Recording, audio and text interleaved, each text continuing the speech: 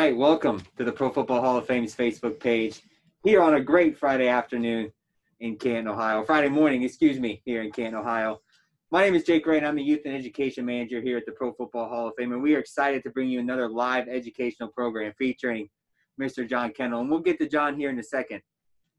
Our mission at the Pro Football Hall of Fame is to honor the heroes of the game, to preserve its history, to promote its values, and to celebrate excellence everywhere. And those values we speak on are those of commitment, integrity, courage, respect, and excellence all play a huge role in today's game and today's topic especially. Today, we're going to focus on Stark County in the Pro Football Hall of Fame. You know, many know that in Ohio, uh, football is very prevalent, a very hot topic every fall.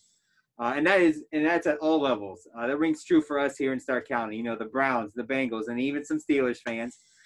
Ohio State is everybody's team. You know, mostly we'll, we'll, we'll say. And Stark County is home to one of the greatest rivalries in all of sports, especially high school sports, with McKinley and Massillon High Schools just right up the road here. Uh, well, all these are great topics, and I'm sure we could spend a whole time talking about them sure. alone.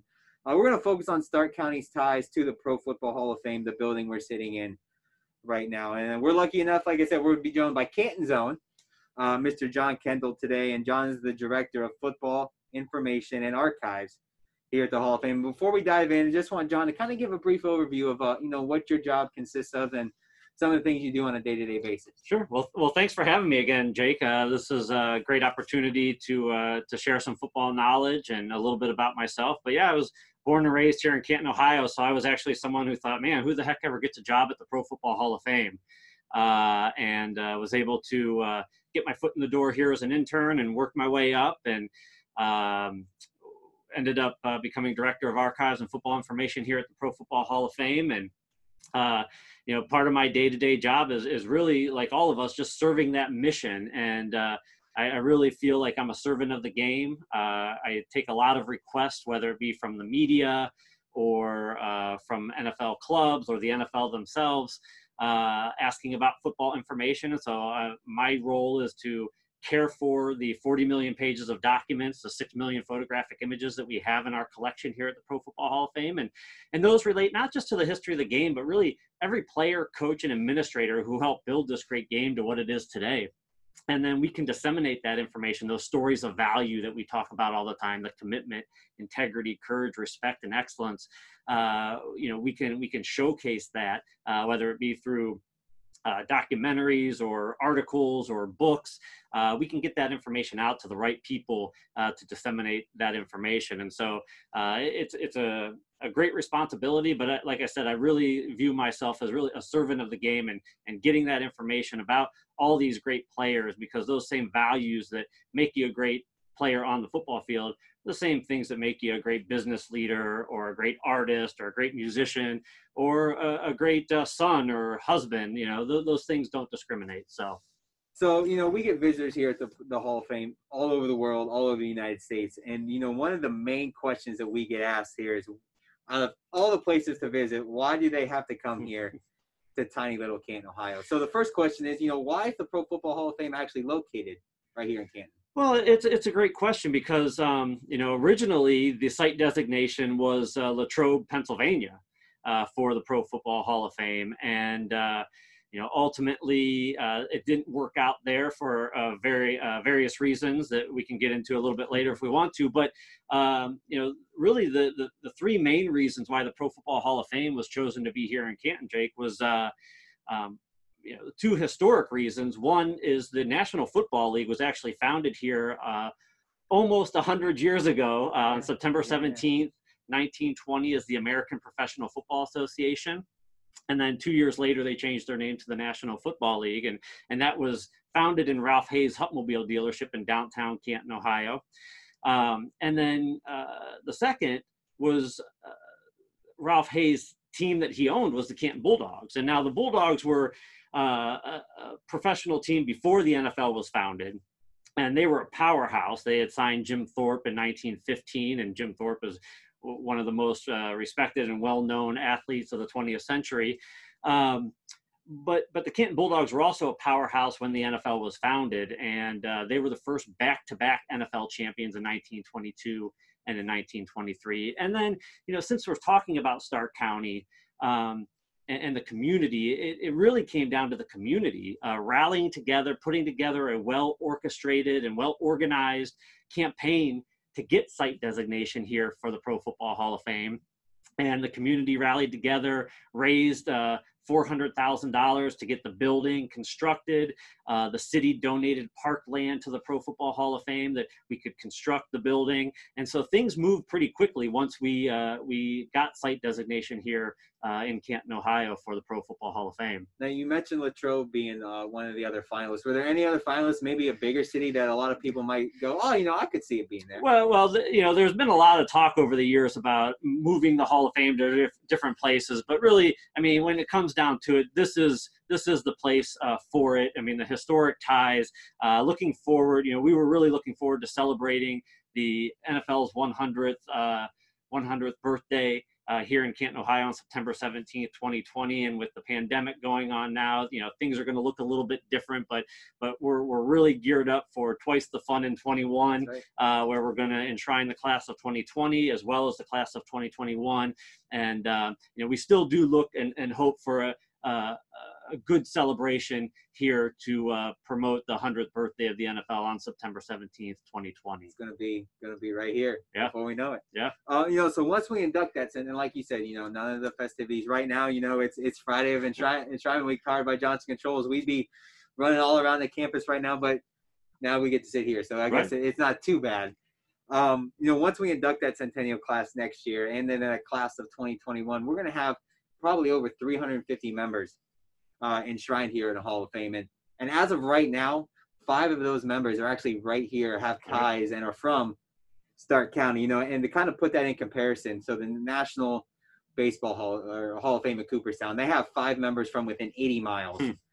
I see here at the Hall of Fame in Canton, we have are those five members are all just within 20. And if you look at the Naismith Memorial Basketball Hall of Fame uh, in Springfield, Massachusetts, only one person hmm is from Springfield. Now it was pretty important. It was Larry O'Brien, who's the trophy's named right, after, right. but but still only one. So the five men who really have uh, strong ties and are from this area are are Hall of Famers: Len Dawson, Dan Dierdorf, Marion Motley, Alan Page, and Paul Brown. So what we're going to do is we're going to take a look at each of these individuals uh, and talk a little bit about their careers, uh, how they are tied to the city, and you know the important history of the game and the area. So our first Hall of Famer is Mr. Len Dawson.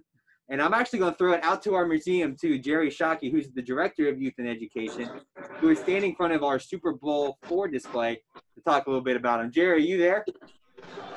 Yes, Jake, I'm here live, and we are here uh, standing in front of the Super Bowl four display, which is housed in the Lamar Hunt Super Bowl gallery. And behind me, what you see here is the jersey from Len Dawson, who was the QB of those Chiefs teams during those early years. And Dawson was a major factor for the Chiefs during the first couple Super Bowls. He didn't win every one, losing the Super Bowl one to Green Bay Packers, but he did lead his team to a victory in Super Bowl four. He was named Super Bowl MVP after this the team's championship win over the Minnesota Vikings. Now, what you might be thinking is, what is Len Dawson's tie to Stark County? Well, it happens to be a very special one to me. Len Dawson went to very nearby Alliance High School, where there's a football field actually named after him. Well, it also happens to be the same high school that I went to that I'm very proud of. So go Aviators. So my question to you, Jon, is thinking about Len Dawson and, and what he gives back to this community and, and, and just thinking about the responsibility of, of, uh, uh, of Hall of Famers and players to give back to the community. What kind of role do you think? Why do you think it's important for these great athletes to give back to their communities? Go ahead. Well, thanks so much, Jerry, uh, for for that question. And, and you know, for me, um, I, I, think it's it's very important for these players and these clubs to give back to the community. One of the things that I will say though is, um, you know, I don't think it's reported on enough how much these clubs and and the players and the coaches are tied into the communities, um, not just in Stark County, but really, um, you know, all throughout the country. I mean, you look at um, you know, the New Orleans Saints and, and what that organization did to help uh, rebuild New Orleans after Hurricane Katrina. You look at J.J. Watt and the Houston Texans with all the flooding in Houston uh, over the past couple of years, and uh, what what J.J. Watt was able to do, not by himself, but uh, bringing people together. He has a platform to bring people together and uh, and and and help rebuild that community. So as it relates to Len Dawson, you know, I, I think really it's it's the values that that these heroes demonstrate uh, on the field are great lessons for our youth uh, and then the community as a whole. And so we look at Len Dawson. I mean, perseverance is the value that really stands out to me with Len Dawson. Uh, you know, he was a number one pick of the Pittsburgh Steelers coming out of the draft, and uh, he sat five years as a you know seldomly used backup uh, with the Steelers and then with the Cleveland Browns actually, and then you know getting his chance and his opportunity then with the Kansas City Chiefs and the uh, American Football League and and becoming one of the greatest to ever play the game. Uh, you know, perseverance is certainly something that I think uh, everybody can learn uh, from from Len Dawson. And it's very cool. And as you see, as we go through all these people, then you know, they kind of each have their own special value that's tied to them. So our next guy we're going to talk about is uh, is Hall of Famer Mr. Dan Dierdorf. So what is Mr. Dierdorf's tie to this area? So yeah, yeah, Dan. Uh, he he uh, grew up in this area. Uh, went to uh, Glenwood uh, High School, which now is Glen Oak in Plain Township. But uh, his father worked at the Hoover Company uh, and and uh, you know Dan ultimately wasn't heavily recruited uh, to go to, to college, but ultimately got into uh, that university up north. Uh, we were talking about Ohio State earlier, but uh, I will mention that he went to the University of Michigan and and ended up you know becoming a star there and and and getting drafted high by the the Cardinals and and you know Dan really. Um, not only represented Stark County so well throughout his entire playing career, but then ultimately had a phenomenal career as a broadcaster too, post career. And he's one of the few uh, Pro Football Hall of Famers that actually um, not only is enshrined as a, a player in, in, in, Canton, but uh, ultimately won the prestigious uh, Pete Rozelle Radio and Television Award, uh, which in that industry is, is one of the highest honors that you can achieve. So uh, kudos to Dan for that and always representing uh, Stark County so well. So, so during his enshrinement speech, and I'm going to read the quote here. Dierdorf famously he unscrewed the light bulb from the podium timer that told him, "Hey, you got to be done. Get off the stage." And he announced that, "My name is Dan Dierdorf. I'm from Canton, and I'm proud of it." We know how special the Hall of Fame is to us as Hall of Fame staff, uh, and to all the Hall of Famers who are enshrined. But it's also so important to the Canton community. So when Dierdorf mentioned this in his speech, I personally believe he echoed a lot of the same uh, you know sentiment that that people have from this area. So why is the Hall of Fame such a special part to this community? Well, being born and raised in Canton, you know, I I, I do feel like uh, I, I, can speak on this, and because I I was always one that man I loved you know growing up, you know, going to the Pro Football Hall of Fame or or digging into the history of the game because I felt like I was a part of the history of the game right from the get go because I was born in Canton, Ohio.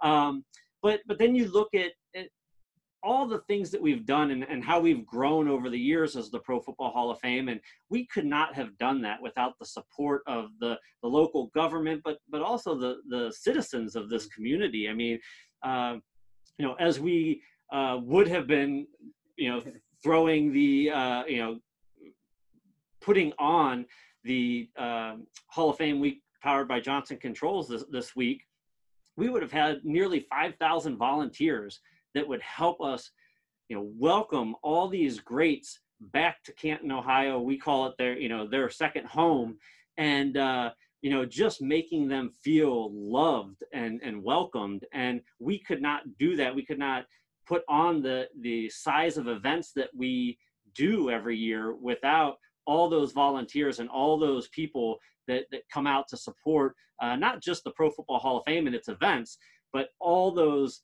former players and coaches and contributors uh, that, that come back here to uh, kind of, and, and, the fans, and the fans as well, to kind of um, envelop themselves in, uh, you know, football and the history of the game. So it's definitely pretty cool. You know, I also grew up in the area about about 20 minutes away, and you know, for me, it was something that you know when we would be traveling across the country or something, someone would say, "Hey, where are you from?" And you know, oh, I'm from Canton. They go, "Oh, you're from where the Pro Football Hall of Fame is," and to us, it's like, well, yeah, you know, it's kind of just right there in our backyard. So I believe it's something that you know we personally sometimes take for granted. Right.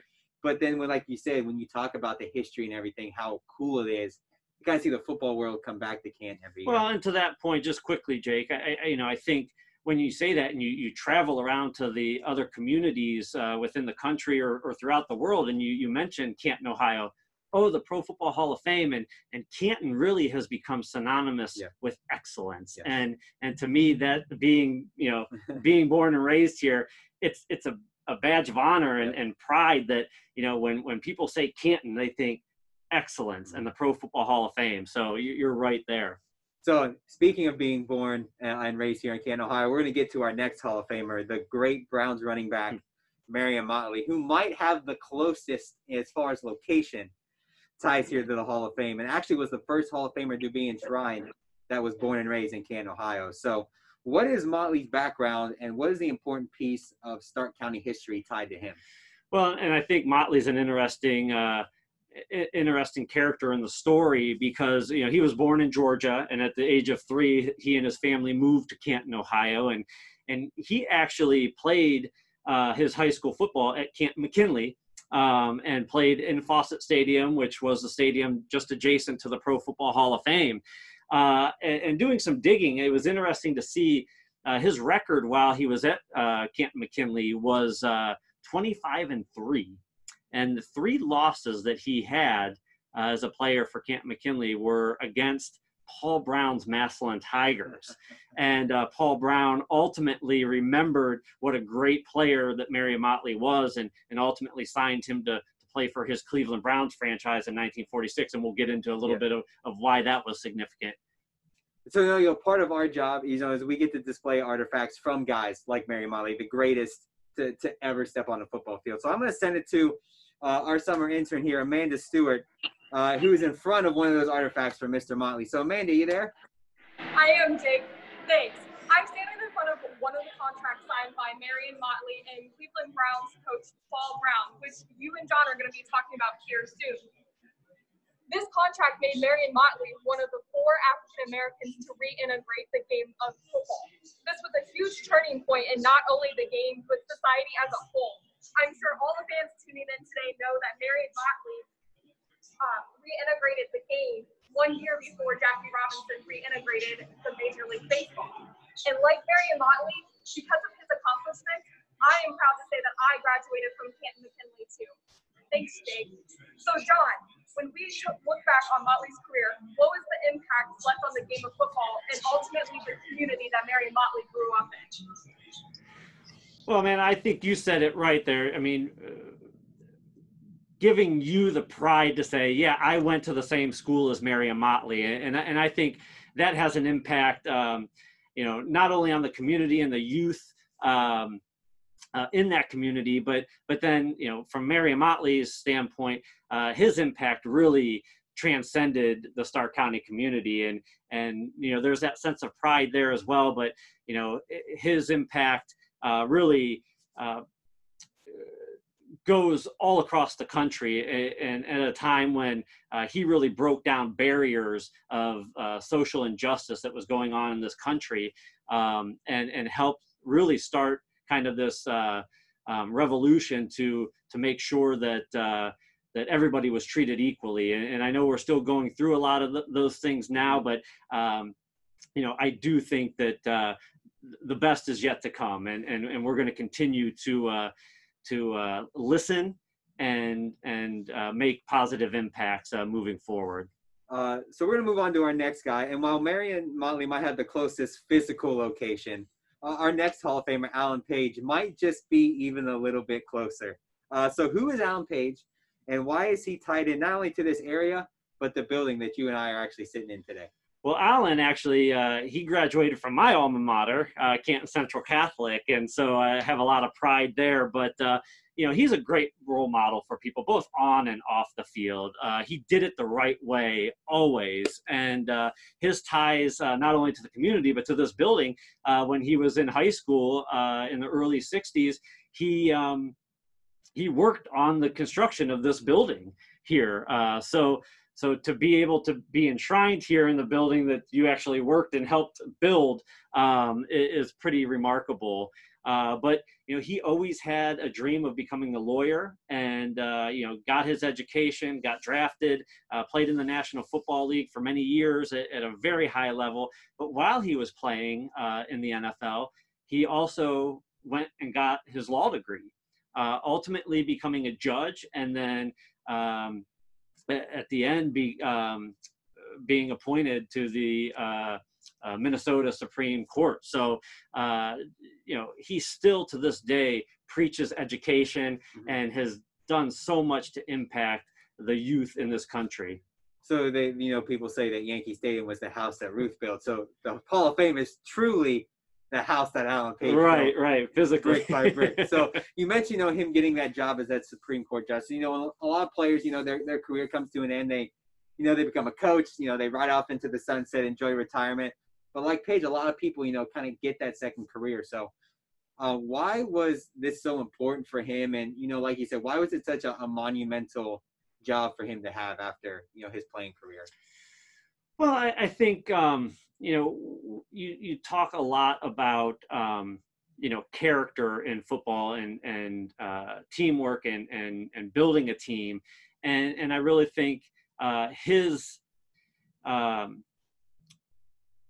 his uh, level uh, level headedness on the football field really helped him uh, in his post career uh, journey as, as a lawyer and as, as a, you know, doing it the right way all the time and being able to really uh, look at cases uh, unbiased and, and, and really, uh, you know, I, I think that is probably one of his best character traits. So last and certainly not least, as we mentioned, we have maybe the most notable uh, person from the area is Paul Brown. And, you know, if you are from the Stark County area, you definitely know who he is uh, but it might be for a different reason than than someone else, depending if you're a high school fan, a college football fan, or a professional football fan. Uh, we know that Brown is is the namesake for the Cleveland Browns. You know, he coached the upstart Cincinnati Bengals after he was enshrined here in the Hall of Fame. But what kind of impact did Brown have at the high school and college football level? Well, I was going to say, you know, what impact didn't Paul Brown have on uh, all the levels? I mean, like you said, high school, college and pros. Um, you know, he was a winner at all three levels. Ultimately, uh, also coaching at um, uh, the Great Lakes Naval Academy. Um, and you know, for me, you, you look at Coach Paul Brown, and uh, I think his biggest impact was more uh, not just on the game, but really once again on society. Um, Coach Paul Brown did not care what kind of race, what religion, uh, what economic background you were from. Uh, if you could help his football team and you were a quality individual, he cared what kind of character you had. Uh, he he wanted you on his football team, uh, and and that showed when uh, he signed Bill Willis and Marion Motley. Like Amanda said, one year before Jackie Robinson uh, integrated Major League Baseball, um, Willis, Motley, Kenny Washington, and Woody Strode for the Los Angeles Rams, uh, they re- reintegrated pro football. And it was really uh, Brown who was that driving force in the All America Football Conference. That, you know, we have a letter down in our archives uh, from Bill Willis to Coach Paul Brown congratulating Brown on being uh, appointed general manager and head coach of the Cleveland Browns. Uh, and in the Willis asks him to give him a, a, coaching recommendation. Well, Coach Brown, he didn't want him to coach. He wanted him to play on his team. But Willis, knowing how society was, didn't think there was an opportunity for him to continue his playing career. But Coach Paul Brown said, "No, you're going to play for me." And he went out and also signed Marion Motley as well. And and those players both had huge impacts on and off the field, and both reside in the Pro Football Hall of Fame from that. So, uh, when you talk about Coach Paul Brown's impact on the field, uh, we can go, you mm-hmm. know, through all sorts of different things, but uh, you know, his impact on society, I, I think, is um, not showcased enough. So you talk about, you know, like he said, such a great person off the field, really changed the game. But he also changed the game on the field right. with known as one of the greatest innovators of all time. Some of the stuff he was using back in the 50s is still being used or just starting to be used today. So, what are some of those innovations that, that Paul Brown had that you've recently seen come about? Well, certainly, and I don't know about just recently come about, but uh, but Coach Paul Brown, he he was a a teacher by trade, and and and then got into coaching the sport, and so he brought a lot of that educational classroom work into the sport and you see it a lot today especially with covid-19 and and not being able to be on the practice field hitting and, and things like that. They're doing a lot of classroom work and and mentally challenging these players so that when they get on the football field they don't have to think about it so much. They just go out there and react. And so you know from from the classroom work to the helmet receiver, the coach to quarterback communication. Paul Brown was a guy that he wanted control. And so Otto Graham, uh, you know, was a phenomenal quarterback in his own right. Uh, went to ten straight championships, winning seven of them uh, with with the Cleveland Browns. But when when Otto Graham retired, you know, Coach Brown didn't have that comfortability with his quarterback being able to to uh, you know basically be a coach on the field or be him on the field. And so he started working with radio technology and put a helmet receiver in George Ratterman's helmet uh, so that he could communicate with George Ratterman. It was ultimately outlawed um, early in the season, uh, but then decades later, the NFL adopted that and, and allowed a coach to, to communicate with their quarterback for a certain amount of time. So that um, you know, in-depth scouting reports. Uh, you know, there were scouting reports being done before Coach Paul Brown's time, but the way that he, you know, we have these down in our archive collection, his scouting reports that go player by player. What what's their strengths? What's their weakness? How are we going to attack this player? And he would not only distribute those to his assistant coaches, but those were going out to all of his players as well, so that they knew why the team was scheming the way that they were scheming. And uh, that helped Coach Brown and the Cleveland Browns create a dynasty franchise uh, during the 40s and 50s. So those are five individuals that have ties here to Stark County, all of which had their own impact on the game, whether it be on the field, off the field, like Coach Brown. And you know, it's just not those five individuals who've had an impact on the on the you know the Stark County area. So many other individuals, and then the area itself being such a supportive factor to to the game of football, with everybody coming back here uh, around this time every year. So as you can see, without Stark County, the game of football would look a lot different, uh, you know, than than what we see on TV or in the stadiums today. So, so I can truly say, as someone who grew up in the area, that we are proud to be home in the Pro Football Hall of Fame, and we are excited to all the excitement that's going to be coming here to Canton in the years to come. That's going to be it for us today. Uh, for everybody who's tuned in, make sure you subscribe, follow, like all of those different things, all of the Pro Football Hall of Fame social media channels uh, to stay up to date with all the news and programming and content here at the Pro Football Hall of Fame. Next week, we're going to bring you a special Heart of a Hall of Famer powered by Extreme Network classic replay as we go backwards to 2015 to show you a program that we hosted right here at the Pro Football Hall of Fame with Hall of Famer Bruce Matthews. So make sure you guys tune into that. So for myself, Jerry, Amanda, and Jon, we want to thank you for tuning in today, and we'll see you next week, or we'll see you in two weeks because you get to hear from Bruce Matthews next week here on the Pro Football Hall of Fame's Facebook page. Thanks you, everybody.